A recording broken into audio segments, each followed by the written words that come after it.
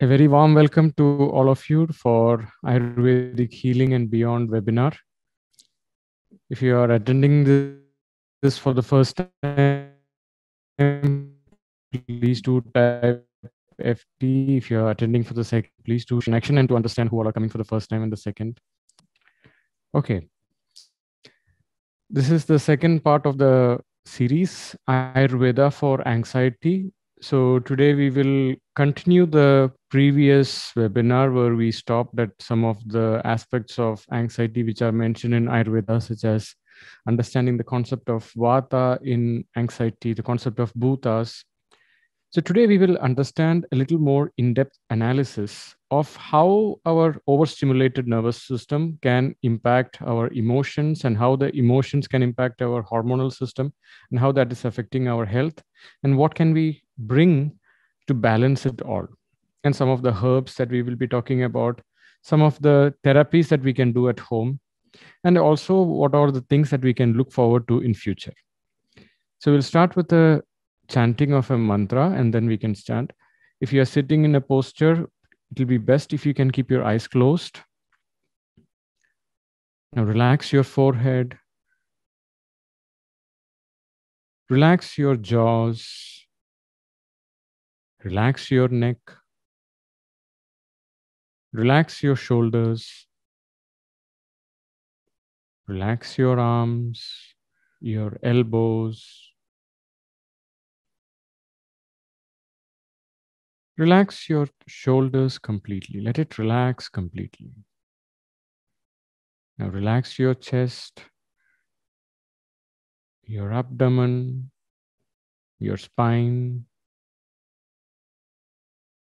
and relax your hips. Relax your thighs, your inner thighs. Relax your knees, your legs, calf muscles, your ankles,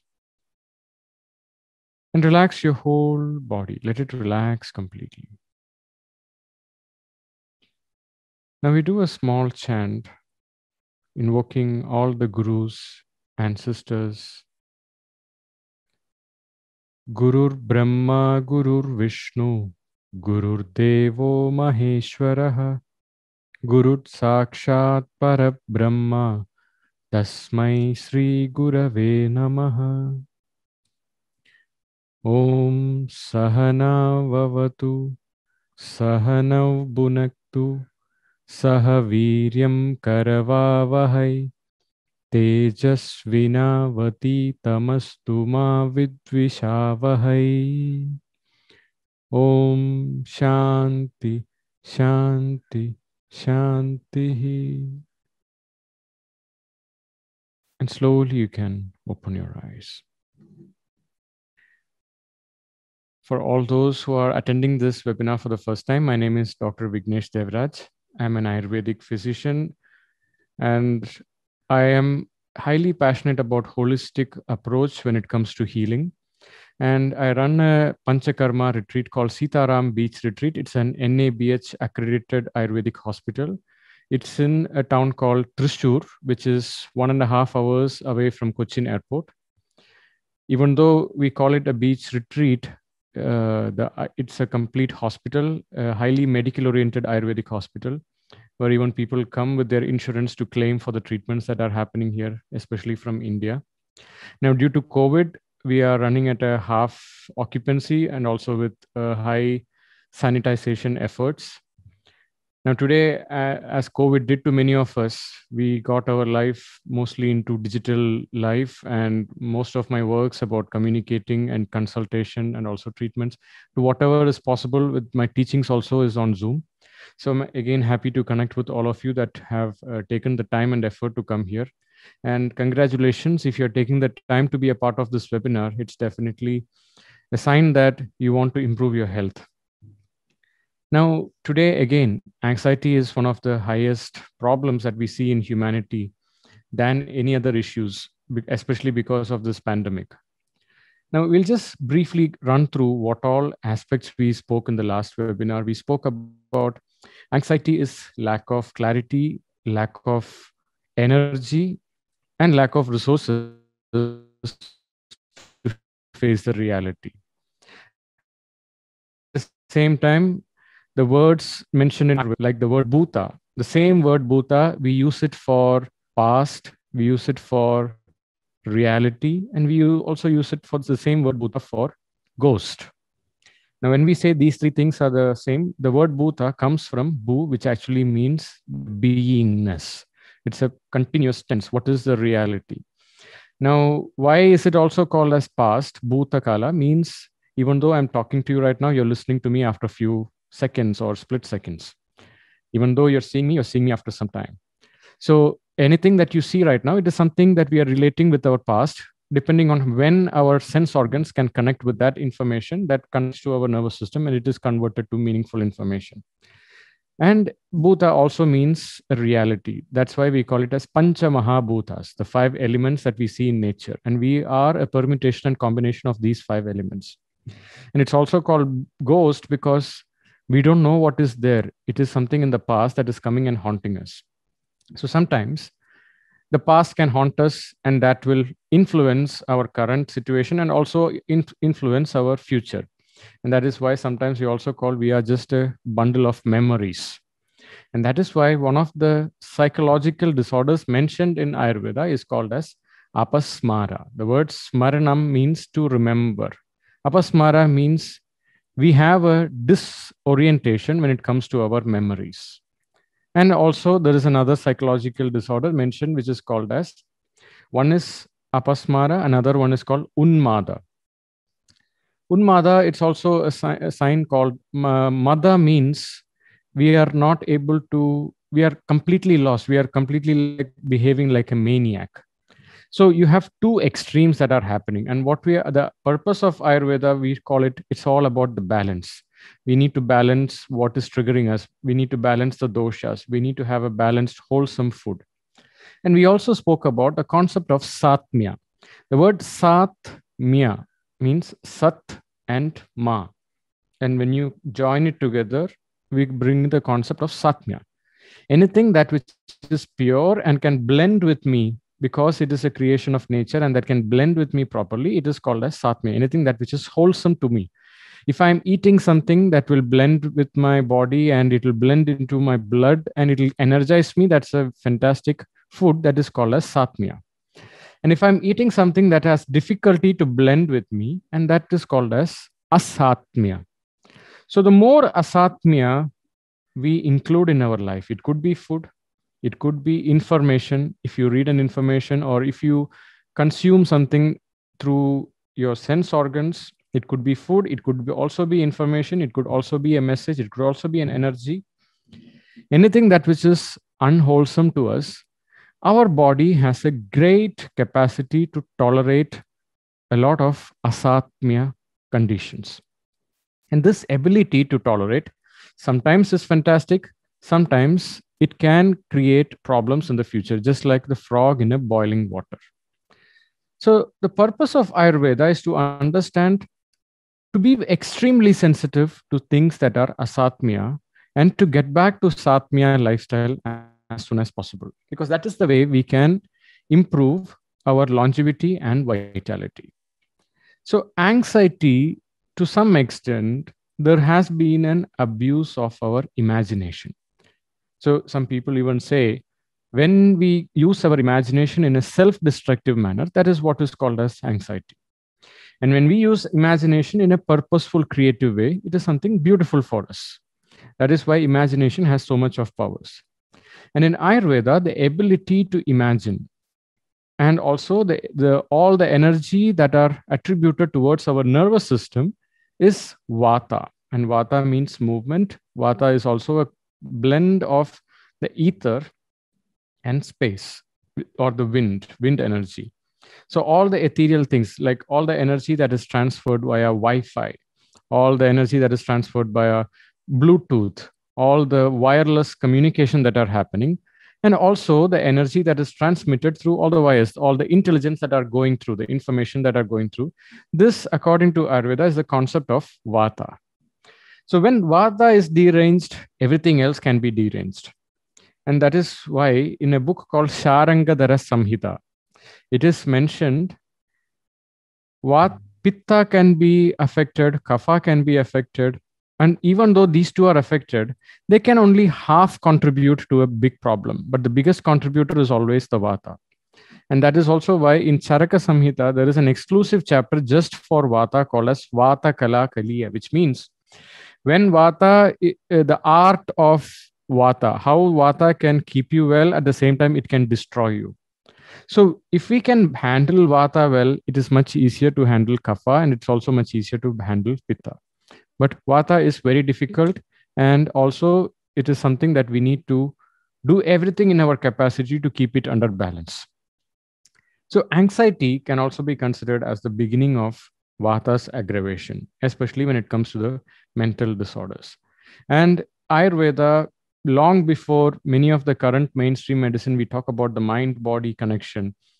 Thousands of years ago, it has completely classified diseases of physical in nature and diseases of mind or mental mental triggers in nature. Some diseases can also be created because of mental triggers. In fact the in one of the chapters of atisara atisara if you literally translate it actually calls as diarrhea. There is a special mention of diarrhea just because of fear. And this is something we are coming to understand the mind body connection, the gut brain axis, and the connection with that.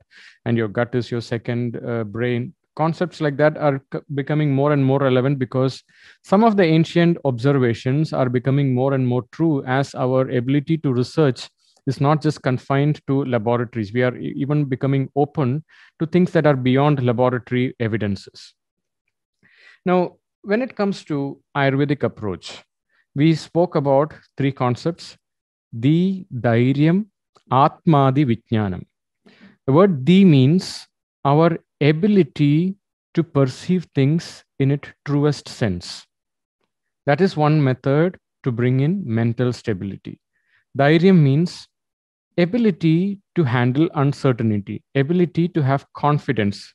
It is all about confidence, like what we mean, it, what we call it as gaura, I mean gurutvam, or ability to be stable in spite of a lot of instability happening around us. And atma di vijnanam. Atma means also it also means soul. It also means deeper understanding or connection with our true self. And vijnanam means wisdom. So these are the three methods to bring stability to our psychological aspect of our whole, complete body. Now, dhi Dhairyam, Atma, Vijnanam, these are the three methods to bring stability to our emotions, stability to our mind, stability to our psychological aspect of our body. Now, if we go deeper into the word dhi, sometimes we can be camouflaged or we can filter a lot of things that are coming to us because of our past.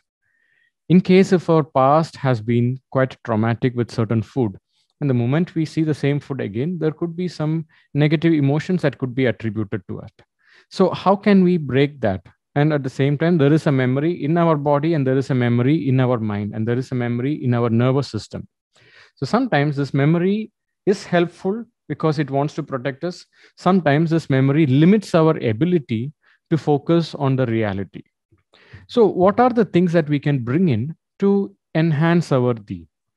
So this is one thing that we will talk about today. Now, when it comes to improving dhi, you know, the word dhi, it's also uh, an origin or a combination of the word buddhi. In fact, Buddha is someone who has achieved the highest form of dhi, and buddhi is a higher level of ability to perceive things in its reality. And Buddha is a person who has achieved the highest form of perceiving things. He's someone who is able to go beyond the Maya. He's able to go beyond certain things that are illusionary in nature. So there is a concept called as Medhya Rasayanam. Medhya means anything that will help to enhance our ability to perceive things in the right manner. And Rasayana means these are tonics or rejuvenatives. So, all the aspects that can enhance your buddhi, we have to integrate into your life. And that is how we are able to come out of anxiety. And anxiety is misuse of our ability to imagine. Here, there is a statement that I would like to make. It's a statement. Uh, how the statement goes is there is a small gap between trigger and stimulus and response. There is a gap between stimulus and response. And in that gap, or what we call it as space, in that space re- realizes our ability to grow. What we mean is when there is a trigger or a stimulus, if we are on an autopilot to convert it into an emotion without thinking through all the possible scenarios, then we are on an autopilot mode. That is when our dhi is going out of control. We sometimes we call it buddhi vibramsha. Our ability to perceive is deranged. And this is a statement by uh, Viktor Frankl in one of his book called The Man's Search for Meaning. He talks about there is a space between stimulus and response. And in that space relies our ability to grow. If we are able to identify what is the thought, because once the thought becomes emotion, then it goes beyond our control. But if we are able to filter the thought and understand why is this thought coming, and then to instead of just going on an autopilot mode, that is where our power of growth comes in. That is where we are not letting the past influence our present. Now, this is the concept of dhi, and there are even uh, Hindu mythological stories. Okay, the word mythology is again debatable. However, there are Hindu uh, concepts called as Sudarshan Chakra. Sudarshan Chakra means there are gods who have a wheel that can go and cut through or disconnect things, and it is called as Sudarshan Chakra. The word Sudarshan, darshan means vision. The word Su means your ability to see clearly, irrespective of the mental fog that you could have. And Sudarshan Chakra is a wheel that will cut through the fog, cut through the Maya, cut through the limitations or the illusions that you go through. So that is what this concept of Sudarshan Chakra is mentioned. And by using dhi, our ability to enhance our vision in the right perspective, we are able to calm ourselves down. Like we have a cognitive bias to what can go wrong because that is the way we our nervous system is trying to protect us. So what are the techniques that we can use to bring in this sudarshan to enhance our di one is a physiological component and the other one is our mental cognitive ability to respond to things. Now the physiological things when our energy is low we tend to get stressed more. Sometimes when your energy is very high even if a small things or a big thing a big trigger comes you say i can handle it. But when your energy is low even a small thing could trigger you. So one of the best ways to improve your buddhi or di or your ability to discriminate is to improve your body's energy. And that is why you know sometimes when you are deprived of some micronutrients when you're dehydrated, when you're tired, all these times our tendency to get irritated is very high. So understanding what are the triggers that gets me irritated. I'm talking about physical stuff. Sometimes if you eat a lot of sugar and it increases, I mean, it spikes your glycemic index, there is a high possibility we could get irritated sooner or later. Sometimes when people eat uh, or drink something that can high, uh, I mean, improve certain things at the same time afterwards you feel very low. There is an energy dip. Such something like coffee or even alcohol. Anything that stimulates you instantly and later it give, brings a intense dip. These things can later lead to a lot of anxiety issues. So if you have such kind of cravings or emotional eating habits please try to document.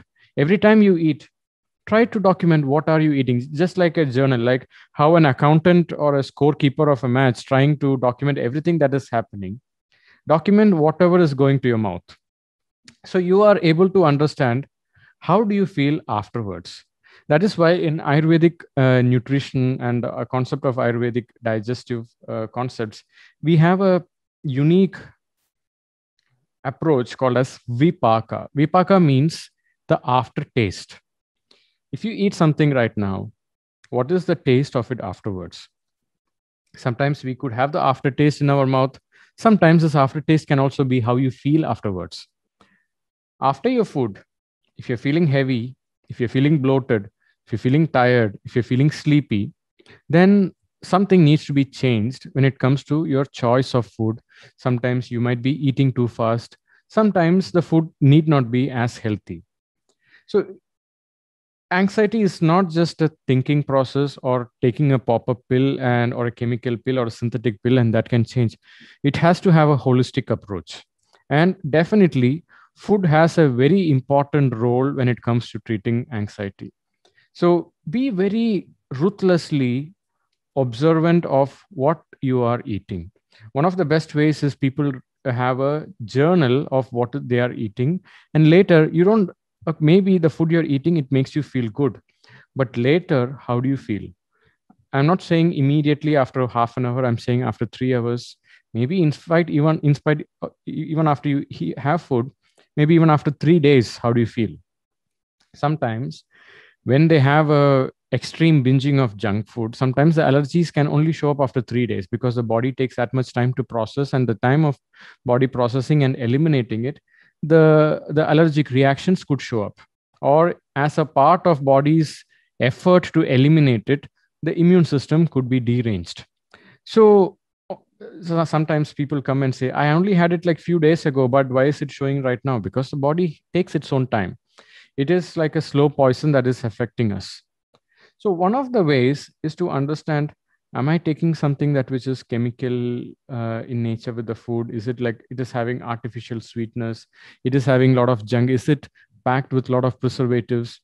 All of these any food that which is low in prana and how to understand if the food is low in prana it has a huge shelf life and it is packaged and it is far away from nature. And sometimes there are even substances called as food like substance the more you consume these things it can definitely have an impact on your mental and emotional feeling.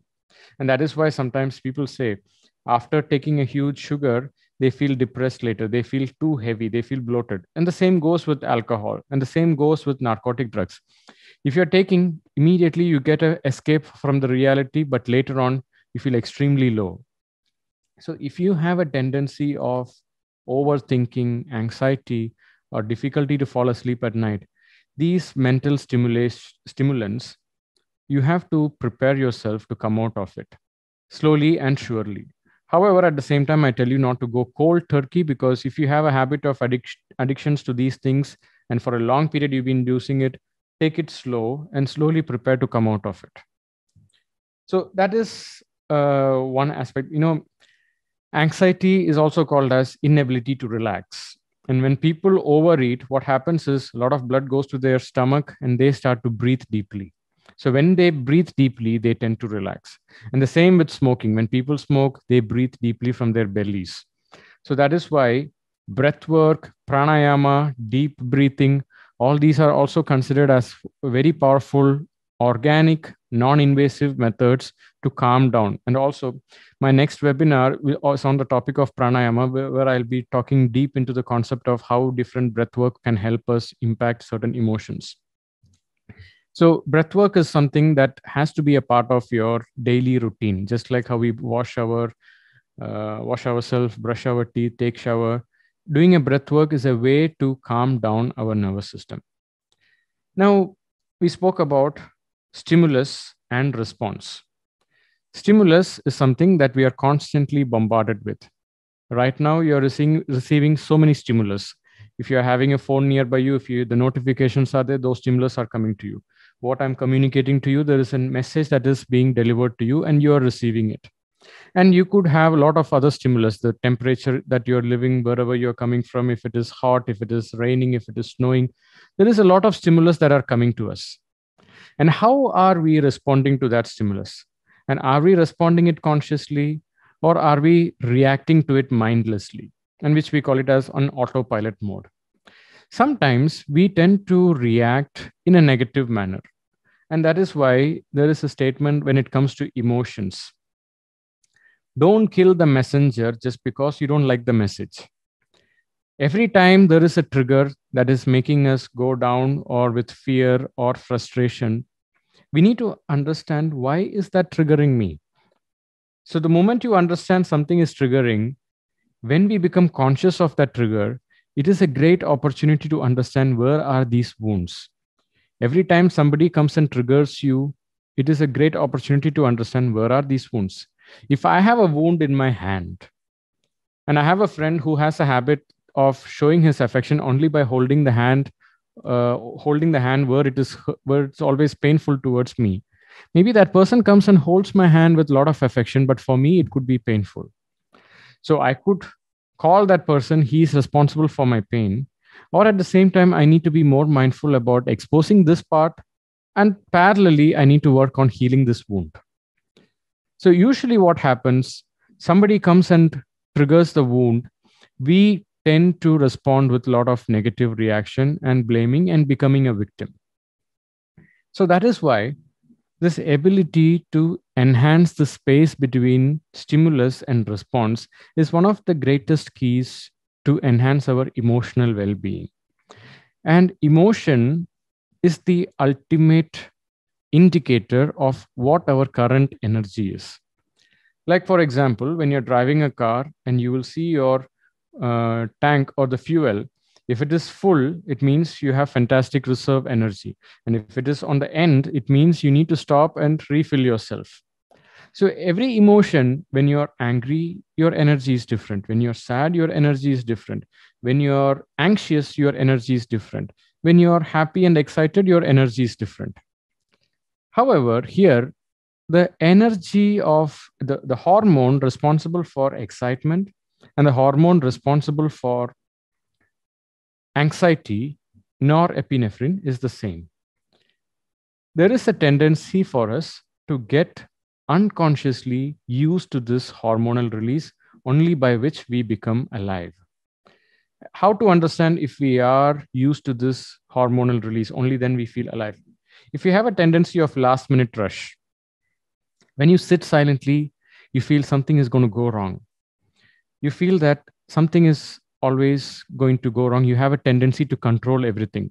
The moment you see some things are not some certain things are not under your control especially things that are beyond your control you feel agitated. You feel your heart rate is going up. You feel your pulse rate is going up. You start sweating and your palms start and all the symptoms of high vata start to show up.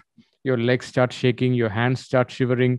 Sometimes you also feel cold hands and cold feet now, if this is a tendency, it's a sign that we have an unconscious addiction towards stress hormones because that is the only way we trained ourselves and we learned what it means to be alive and energetic. And the moment we feel these energies releases, I mean, this hormonal release is not that we feel immediately low and we feel tired and we feel there is nothing there. So, unless there is a last minute deadline or a last minute uncertainty, I don't feel alive, it's a sign that something really needs to be changed. So let us talk about certain things. Now, in Ayurveda, some of the herbs that I'll be talking today, and one of them is called as Kapikachu. Now, Kapikachu is considered as one of the natural ways to enhance your dopamine levels. Now, why are we talking about dopamine? And Kapikachu is also considered to balance your vata, increase, increase your ojas, and also it's also considered as an aphrodisiac. Now, it'll be interesting. The herbs that are mentioned for stress calming or stress balancing are also the herbs that are meant for aphrodisiac nature because vitality and our ability to calm down our nervous system are the same. So, why we are talking about kapikachu? Kapikachu is told as one of the herbs that are best used to calm down excessive thinking, and also anxiety. Now, in, in it has a, a, ingredient or active pr- principle called as L-DOPA, and especially people who are you know getting into Parkinsonism, Parkinson's disease, L-DOPA is uh, prescribed for them. Now, why is dopamine such a key indicator? Now, dopamine, as we all know, it is a it is considered to be the reward hormone. When I do something and when I achieve, there is a reward that is coming to us if i'm get involved in something that which is entertaining in nature there is a reward that is coming to us. Anything that which is rewarding releases dopamine and just because the dopamine is released i feel that a sense of reward is happening. There was a, a laboratory study on how dopamine can impact a mice. I mean there were two mice what they did it, this was done in the early 50s in a in a university in canada. What they did was a neurologist kept a rat and used an electrode to induce the release of dopamine in the rat's brain. And this rat was given access to a button and every time this rat goes and touches this button this electrode is activated and the dopamine is released. So every time dopamine is released every time we eat sugar dopamine is released. We feel something is rewarding. Every time we play uh, or some somebody is into video games dopamine is released and we feel so addicted to this and this ability to get addicted.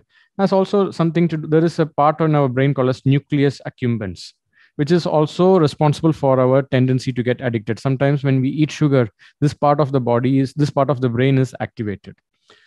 So the, the study revelation is this rat kept on pressing this button and every time it started releasing dopamine and it forgot to eat it forgot to drink and it almost died of dehydration because the dopamine re- releasing was so high. And it just wanted the dopamine release because it felt so rewarding. It forgot all the other natural routines. And that is why you will read in news uh, there are there are news about men dying in a internet cafe playing video game for five days and he forgot to take shower he forgot to eat he forgot to even take care of his natural urges to that extent because the addiction level is so high. And what we understand from this study is we humans also have a tendency for these addictions. And when our dopamine re- reserves go down, we need, just like the first day when you eat a little bit of sugar, you feel so high. And as we eat more and more sugar, we need more and more sugar to have that sense of sweetness in our tongue just like we call about satmya and okasatmya, our ability to handle threshold can go up. We need more and more stimulation and excitement to have this reward factor of dopamine.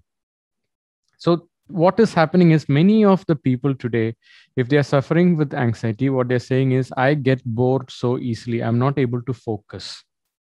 So, this ability to focus, the ability to stay calm, the ability to you know finding the beauty even in the slow things even if it is not a blockbuster exciting thing that ability is something that we have to bring back if we have to counter this anxiety. So one is be careful what is going into your uh, into your gut. Be very sensitive. Are you constantly eating for gastronomical pleasures try to eat food that are micro i mean rich in micronutrients and take care of your digestion. And at the same time also be very cautious about how are you spending your time? Are you constantly looking for entertainment? Because constant look for entertainment if the entertainment is not available our body tends to release the same hormone which can release tend, produce a tendency of anxiety.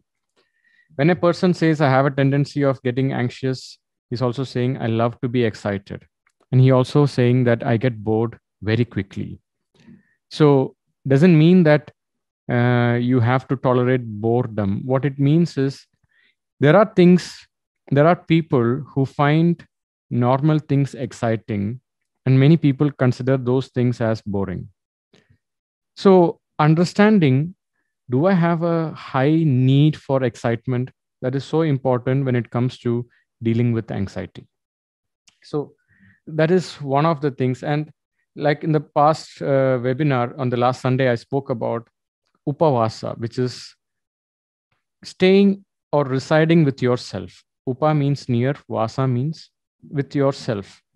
The more you are able to be connected with yourself, which means one of the days of your week, try to eliminate all mental stimulation, just like people do fasting on for religious reasons, like Ekadashi, or on certain days they do a fasting. Some people do on Saturday. Saturday, if they have an influence of Saturn, they fast on Saturdays so like all these fastings try to you know have any i mean avoid any kind of mental stimulations so these ways what happens is we relearn our ability to stay calm irrespective of what is happening so this ability to stay calm is so important and parallelly if you have any difficulty of focusing if you have any difficulty of uh, you know i need a lot of excitement then taking some of Ayurvedic herbs like Kapikachu can be very helpful.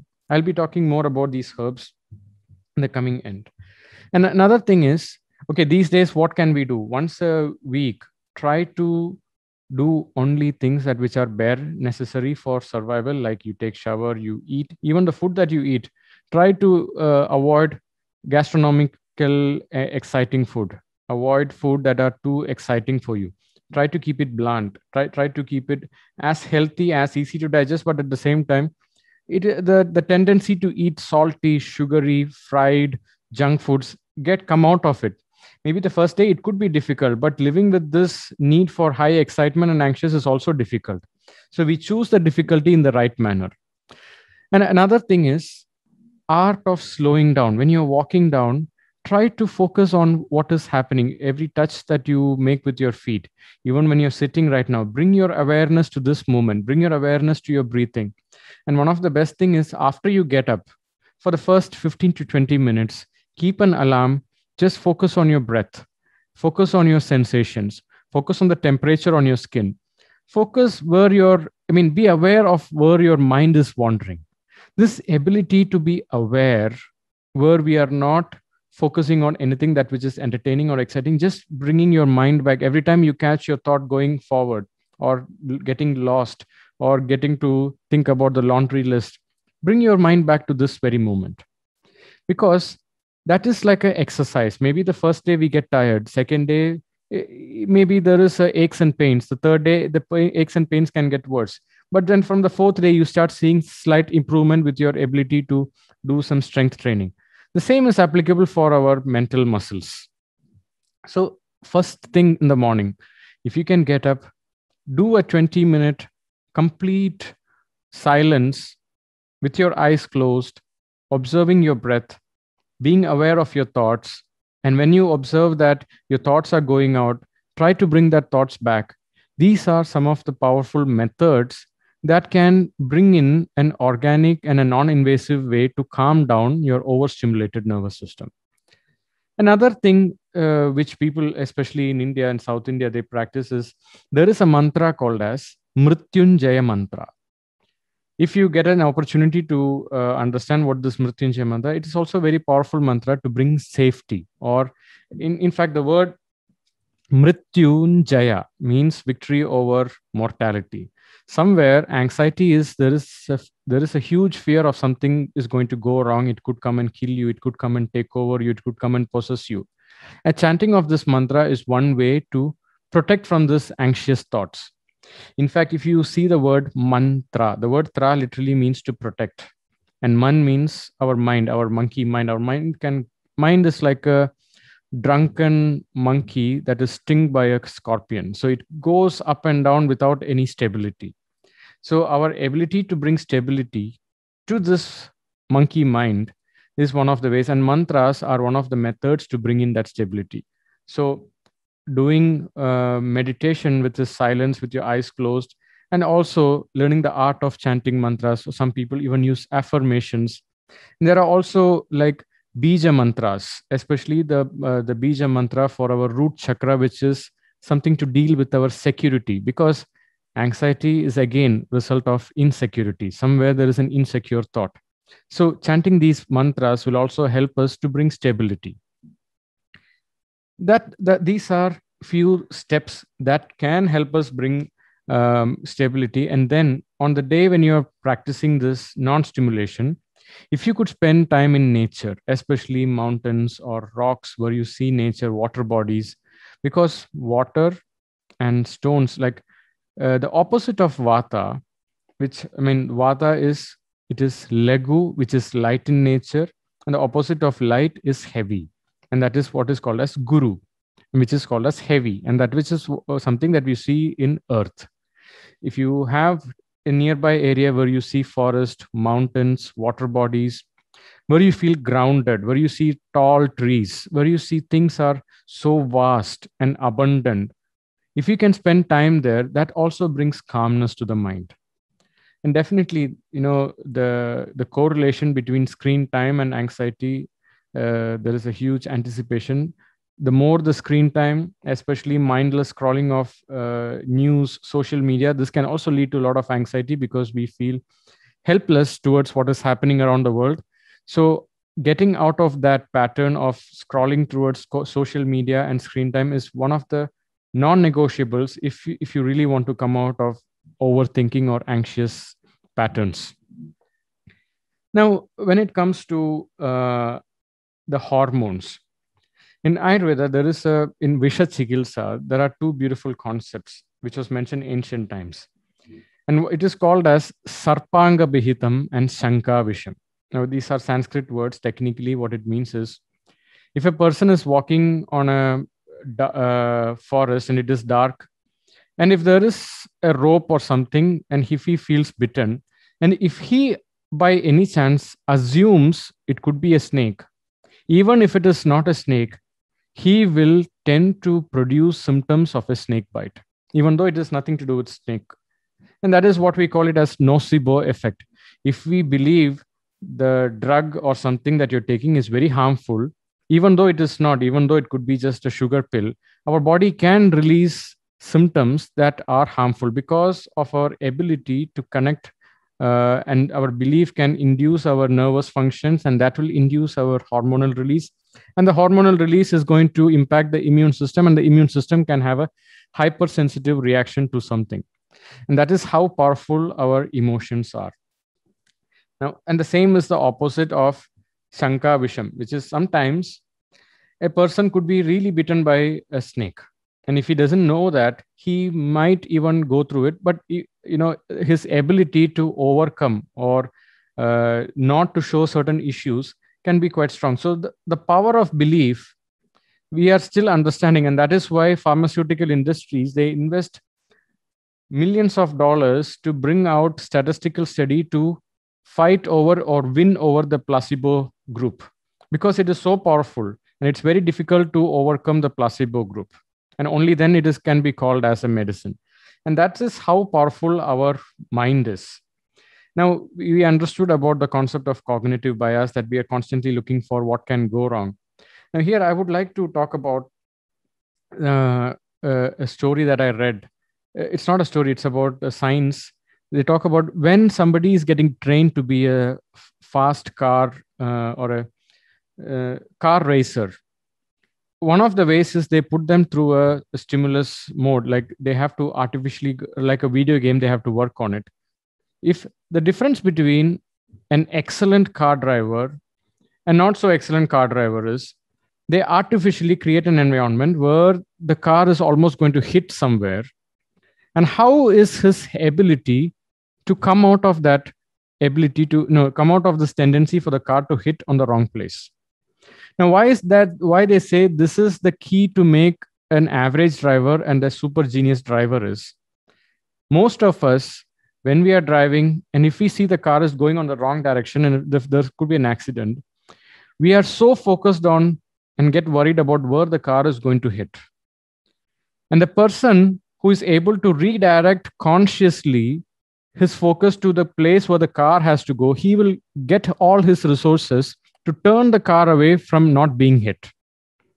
So I will repeat this again. When somebody is learning to drive fast, I mean, we all learn to drive, but uh, who's getting into a sports car race, what makes a genius driver and an average driver is genius driver is always able to come out of an accident spot when he sees that the car has gone out of control and the car is going to hit somewhere he's able to focus his mind and energy to the place where the car has to go so, due to this ability, there is this concept of uh, reticular activating system.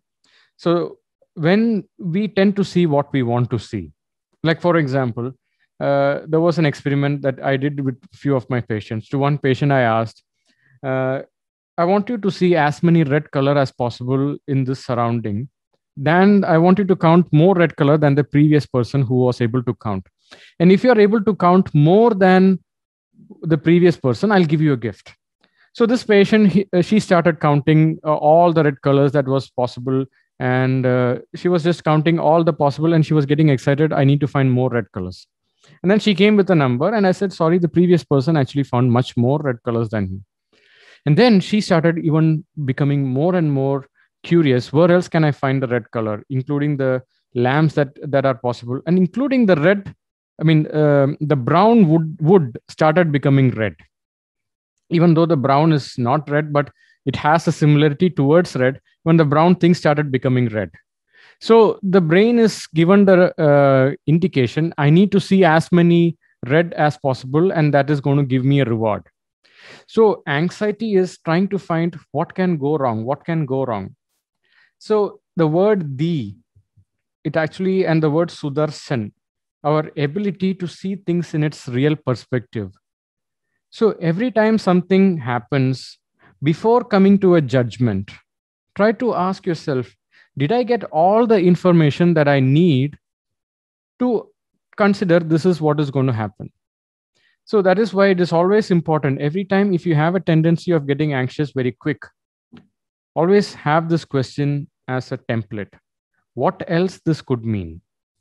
For example, if somebody has a, childhood upbringing where father came late and the mother got anxious, so when this child grew up, and if his or her partner came late, the same anxiety could happen. So it could be that they got stuck in traffic. It could be that they got busy somewhere else or they forgot to phone but there is a high possibility if that the if the memory of the childhood was traumatic and strong we could carry forward the same energy and the same memory to influence the current. So it is our duty. What else this could mean? And also learning the art of communicating to the other person. If you can since i have this tendency from the past if you could also intimate me it would make a big difference. Because at least it'll help to calm down and the aspect of communication especially if some of the triggers of anxiety has something to do with your partners or the environment or your colleagues always before you come to a judgment try to reach out what else this could mean. Instead of by default coming to think that it is a worst case scenario try to ask what else this could mean? And this ability to ask what else this could mean? it makes a big difference. And that is why you know uh, we say that our mind is also a very terrible astrologer. We tend to predict what is worst without understanding what is happening. So every time you come to a judgment you need to ask is it my default terrible astrologer that is coming to this understanding or did i get all the information that i need? And that is what we call it as the our ability to perceive things in its reality things in its clarity. And that is why we even have in english we have the word called as perspective. That's why we have the word spectacles to see things through that. So are we filtering from our past or are we seeing things in its reality? Or am i completely projecting my past on the current situation? So every time you see a tendency of anxiety always tend to ask do i have all the information that i need to worry about it right now? And another thing, like in the previous uh, lecture that I mentioned, am I trying to control things that which is beyond my scope of controlling? And once we answer these two, it will definitely lead us to understand. And asking these questions, this is where the Viktor Frankl statement between the stimulus and the response, there is space. To expand the space, improve your energy, get into healthy routine, Make sure the food you consume is rich and wholesome and ask the right questions. And on these ways, your ability to calm down vata is fantastic. And that is why it is mentioned in Ayurveda. The most powerful enemy of vata is not having good routine when it comes to basic urges like your sleep, your digestion, and also certain aspects of elimination. Once your routine goes out of control, your vata is going to go over the roof. And in fact, if you ask people with anxiety, their sleep hygiene need not be right, or their ability to uh, indulge, I mean, their ability to choose the right healthy things also need not be right. So, bringing back your routine is a non negotiable prerequisite to dealing with anxiety. And especially when some, some of the patients, when they come with the long term medications for anxiety, you know the biggest problem that i see when people are coming to me with anxiety uh, medications for anxiety is they feel that they have to continue with this for the rest of their life there could be some conditions where they might have to continue for some long time. But remember, the purpose of taking medication is to stop taking med- medication. So if we have the right guidance, if we have the right approach, if we have the right resources, and if we also give it the right expectations to for our body to overcome, coming out of this is possible. And also do remember this wisdom that we are discussing right now is not a substitute for these medications. But however, do remember our body is the greatest pharmacy. Unless there is an emergency need, only keep these medications as a last resort. If there is a real severe issue that it is stopping you from living your natural self. Usually, what happens is sometimes there could be some emotional event that happened in people's life that need not go the way they want. And they could have suppressed these emotions. And when emotions are suppressed it will definitely start showing up in our body. In fact what i've seen people with anxiety are some of the most creative people that i've seen. Sorry. And also people with anxiety are also some of the most intuitive people that they have i've seen. When i say intuitive their ability to foresee their ability to connect with other things sometimes they magnify this intuition. They magnify their ability to foresee things to such an extent that it is self-destroying self-destroying. So how to get the strength of this creativity and intuition and use it in a way that you can uh, progress in your life that is the key for balancing this energy. So if you have a tendency of taking these medications try to uh, get into holistic living. Try to integrate ayurveda in your lifestyle. Learn more about uh, uh holistic sciences like Ayurveda, learn about healthy food, learn about yoga, learn about pranayama, learn about exercising, learn about panchakarma. There are some th- therapies of panchakarma and Ayurvedic treatments like Shirodhara, Nabhivasti, Abhyanga. All of this can have a huge result. And also, there is even a, a yoga called as laughter yoga or laughter therapy, which we do in Sitaram. So, uh, practicing all of this these are ways of in, in, fact in sitaram when people come and i tell them that you have to go for this laughter yoga some people might say i don't think i need laughter yoga. And how to understand if you need laughter yoga is when people say i don't need it that is a clear indication that they need it. Because we don't consciously do something to laugh. You know kids laugh so much more than adults in fact it's like an adult laughs like one hundredth of what a kid is laughing so, in order to bring in that curiosity and laughter, it makes a huge difference in a person's life. And when we laugh, what ha- what is happening is a lot of good hormones are released in ourselves.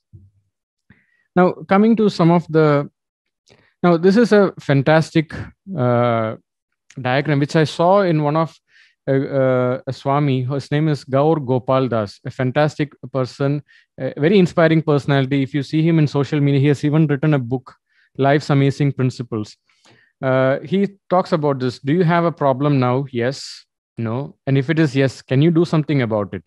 And if it is no, then don't worry. If it is yes, then don't worry. If you don't have a problem, then don't worry. This is such a powerful method, even though people say it looks so easy to watch it, but when it comes to real practice, it is difficult. Yes, it may be difficult to practice, but going through that worry is also difficult. And our ability to stay calm and ability to enhance that space between that stimulus and response it comes with our ability to asking these right questions and also improving your overall energy now coming to some of the medications now these are some of the photos that i got from sitaram ayurveda which is our parent company now these are vegan capsules now brahmi is a fantastic herb especially when it comes to improving your ability to focus improving your memory and especially if you are into intellectual work where you need to think a lot. You have to proofread. You have to create uh, documentations. You have you are a creative writer. You have to create a lot of content and you have to analyze certain things. Then this is one of the fantastic herbs that i highly recommend actually in ayurveda there is this medication called as brahmi ghritam if you live in india you might get it in some of the ayurvedic stores ghritam ghritam is ghee and processing Brahmi in ghee is considered to be one of the best. And in fact, taking even fresh plain ghee, it is also considered to be medium. It will enhance your uh, intellectual capacity. Now, ashwagandha uh, it is again now uh, it is being prescribed even for fitness people. It is it enhances your immunity and it also calms down a person. I recommend ashwagandha especially if you have a lot of stress difficulty falling asleep high blood pressure. Please be careful if you are having sensitive gut constipation uh, any any issues with extreme sensitivity with gut I highly recommend to consider uh, getting it after a medical supervision. And also, with if you are suffering with low blood pressure, uh, be careful in taking ashwagandha because it is fantastic for people with high blood pressure, especially due to stress. But with low blood pressure, if you might take it, it can create. And this is important for me to explain the other sides of it. And tagara, if you are having difficulty falling asleep, tagara is a fantastic herb uh, it is called as the Valerian root, Indian Valerian root. For some people, it really helps them to fall asleep. And apart from this, I also mentioned using sesame oil or kshira bala, using that or coconut oil, applying it on your palms, applying it on your feet, and applying it on the crown chakra region a little bit, especially at night. That will help to calm down um, so that you can have a good night's sleep. Because a good night's sleep, if your sleep is uh, abrupted, disturbed, your tendency of anxiety can go up. So if there is something that you if you see that your sleep is disturbed and you're suffering with anxiety it is not going into treating anxiety it is to get your sleep correct. And if you're having sleep apnea then avoid food that are increasing your kapha or tendency of mucus. Get into healthy exercises yoga pranayama nasyam which is clearing of your nasal tract. All of this will also have an impact on your sleep and Kapikachu, as I mentioned, this is a fantastic uh, uh, herb that is to improve your dopamine levels. And it is also, it's called as Mucuna pruriens. Many uh, neurologists prescribe this today for patients with Parkinson's. So this is something. and uh, this is a picture of a, a Sitaram Beach Retreat, an Ayurvedic hospital that I uh, run uh, where people come for panchakarma, people come for holistic treatments, and also people with stress, burnout. They come for a two weeks or three weeks therapy. Now, because of COVID, we are only half functional, but with high uh, uh, safety sanitizations. If you are from India, you are. It is possible to travel. However, we are in current lockdown, so maybe it is best to wait for some other days and for things to happen. However, we do offer some online consultations so these are some of the facilities that we have here which is uh, it is not just about ayurvedic treatments. It's also about connecting with nature because connecting with nature is so important. So sometimes panchakarma itself can be stressful to people if especially if you're doing it in a four walled uh, hospital which i did in the past and i found it quite difficult. So i wanted to do the same panchakarma where i can also connect with nature which made it much more effortless so that is why uh, the idea behind Sitaram Beach Retreat. It's an NABH accredited Ayurvedic hospital. And if you have insurance, you do have the possibility to claim for the treatments and the medications and the doctor's consultation uh, post your treatment. And um, I shall share the details of the if you have questions we can answer and this is some of the link if you are interested in buying these herbs you can get that uh, you can find it in the chat box.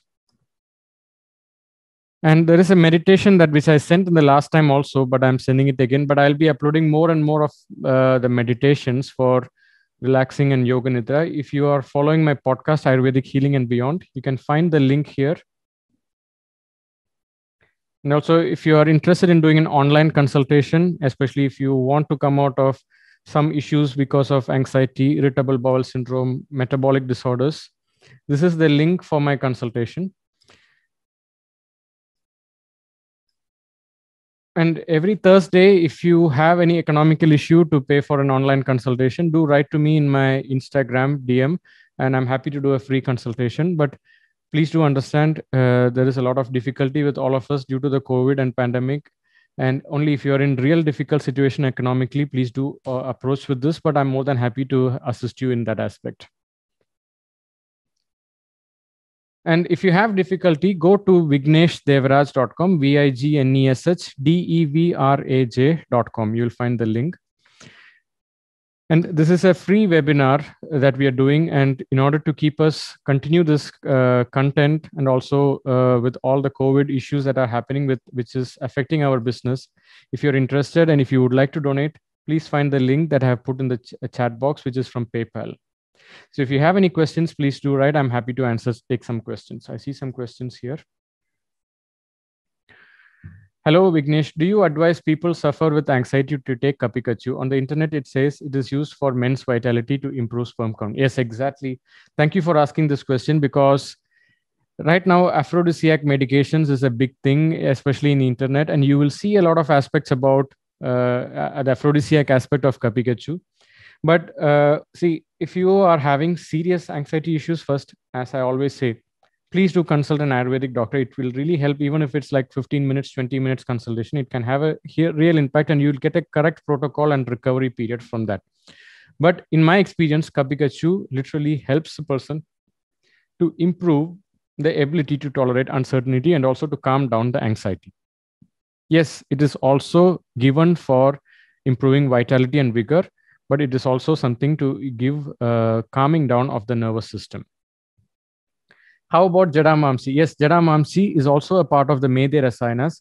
However, I have not mentioned it because uh, I have mentioned other few herbs. I didn't want to create a lot of herbs that are mentioned, but the most important ones are Ashwagandha, uh, Brahmi, Jadamanch, I mean, sorry, uh, Ashwagandha, Brahmi, Kapikachu, and uh, the third one, uh, Tagara, Tagara, which is important for sleep yes, Jadamanchi is important, Vacha is important. There are many other herbs that are also given. Even Shatavari is given for, even Guduchi is also given for calming down. It's also good for mental health.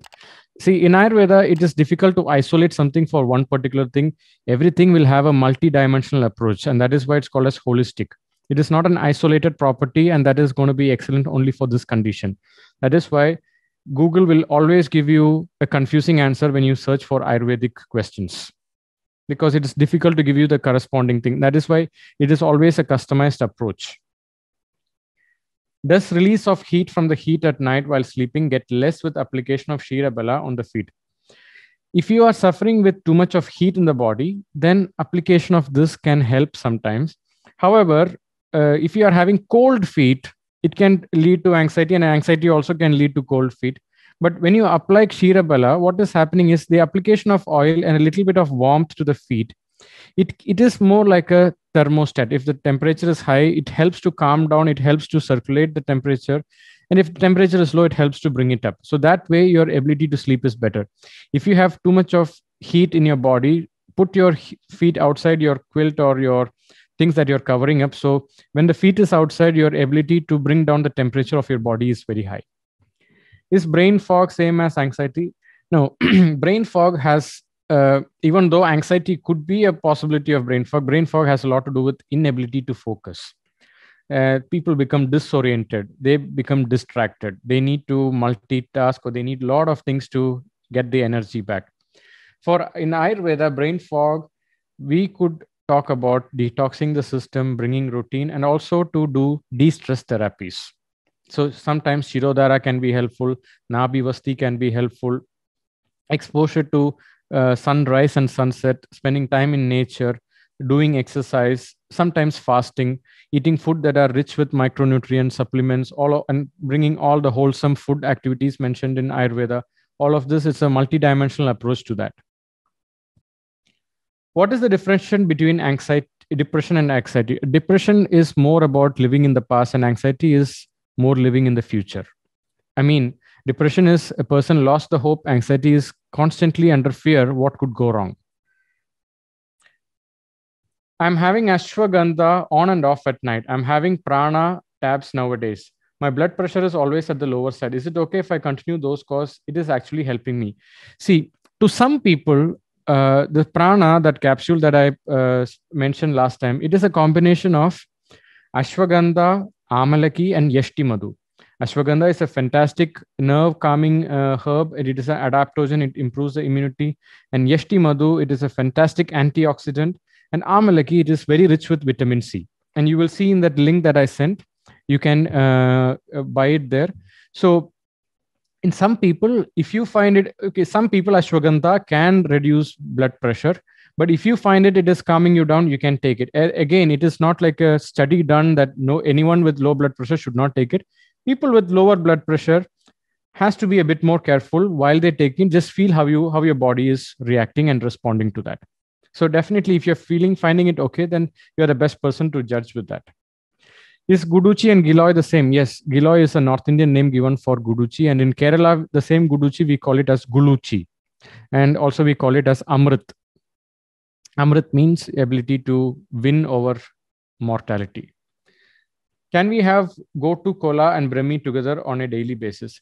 Yes, Brahmi and Gotu Kola, it's the same name. Actually, you can take it, especially, uh, in fact, I prescribe this uh, for a lot of students, especially if they are about to appear for examination or if they have to study a lot or if they have to prepare for or preparing for a thesis or some uh, projects. So if you are in a emo, I mean, a lot of mental work, intellectual work, definitely this is something that can help you. Is there treatment for Alzheimer treatment in Ayurveda? Now, again, there are treatments, there are management, but cure complete cure is something that is again debatable. There are no incurable diseases there are only incurable people. To, to, to what extent what severity is this problem? And if early detection a lot can be done. In fact in one of the previous webinars i spoke about a capsule called a stimulant which i mentioned in amazon. You can also find it in the same uh, thing that i sent. That will be helpful in that because medhya rasayanas ghee therapies and also treatment of improving the gut health all of this can also help to a great extent in the holistic management of Alzheimer's or dementia. Uh, what would you recommend? Only ashwagandha or prana? See, prana is a prana has an advantage of ashwagandha. I mean, yashti madhu and amalaki, and ashwagandha is just ashwagandha. So prana has the benefit of ashwagandha and vitamin C, uh, uh, amalaki, and the antioxidant power of uh, Yashti Madhu. So definitely, if you find good with prana, it is best to continue with prana because it has the benefit of uh, ashwagandha already in there. So thank you all. So the next Sunday, I'll be talking about pranayama, and we will be diving into importance of pranayama in improving the vitality, the immunity, and also our emotional health. So some of the pranayamas that you can perform. Okay, one more question uh, before that. Can we administer the herbs you told ourselves, or a consultation is required? See, if you are suffering with some ailments that is giving troubles for your daily life, then I highly recommend take a consultation. But if you're not having any uh, severe problems, you want to experiment, these are certain things you could experiment if you don't have any serious illness or issue that is uh, bothering with your daily life if someone is having if someone is having anxiety but also having long term inflammation of gut and most medications don't work for them what to do in that case? Okay the long term inflammation of gut it is very debatable because inflammation of gut uh, is a very debatable concept because we are able to diagnose it only with the symptoms because the word inflammation uh, especially with the health coaches and functional medicine the word inflammation is like is considered as the root cause of many diseases. But however ayurveda has a different approach towards that. So definitely improving your digestion has a very good impact on your mental well-being your calming down of nervous system. So uh, definitely for treatment of anxiety like mentioned before improving your digestive health is a prerequisite to improving your mental well-being. So definitely that ways both has to be uh, treated in a holistic manner.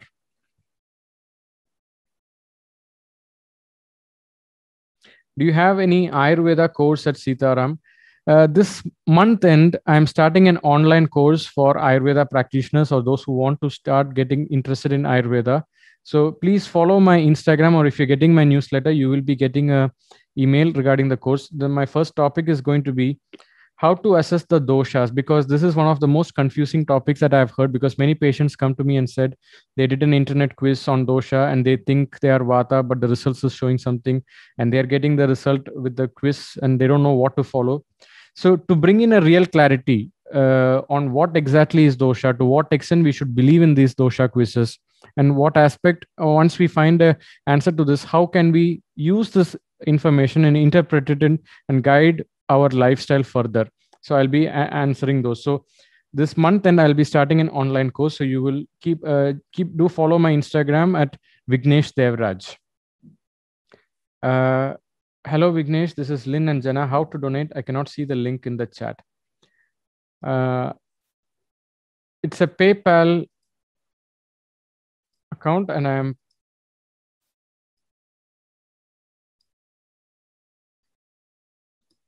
pasting it all here. And I will paste all the details about the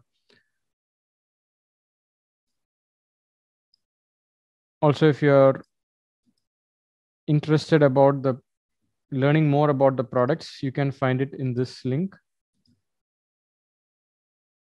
And if you're interested in the podcast all these recordings it will be uploaded later in the podcast so you can have it for your future referral as of now, it's only PayPal, so maybe in future it will come. But thank you for your gesture. I really appreciate. And if you want to do an online consultation, this is the link. So thank you all uh, for being a part of this webinar. So see you next Sunday, and we'll be discussing on the topic of pranayama.